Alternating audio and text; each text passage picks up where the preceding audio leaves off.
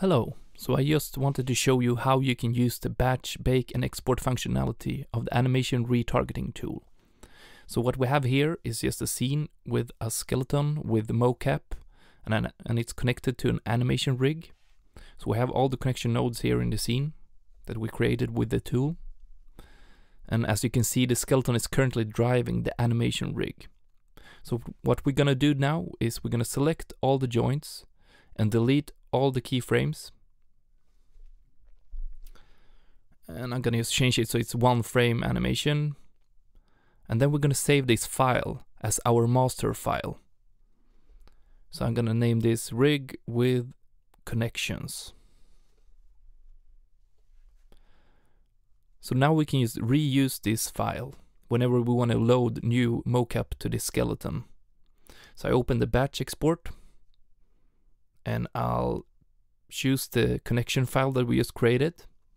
And then we have to add what node we want to export in the files. So in this case, we want to export the animation rig because that's what we're transferring the animations to. So it's going to add the node name of the rig here. Then we choose which output file type we want. In this case, we're going to use Maya and then we're gonna load the actual mocap. So I'm gonna select a few FBX files here. Okay, I'm gonna delete a few just for this showcase.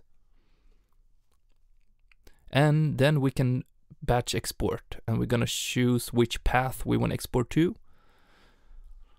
And now it's batching. So right now the tool is loading the rig with the connections that we saved, the master file, and it's loading the mocap to the skeleton and then baking the animations to the animation rig and deleting all the connections and saving it as a new file. It's not the fastest export tool, but the optimization is pretty nice to have sometimes when you have multiple FBXs that you want to export to the same animation rig.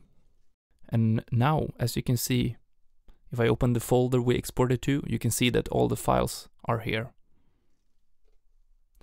And if I open one of the files, you can see that it contains the node that we said that we wanted to export, the selected node. And that's it. Thanks for watching. I'll see you later.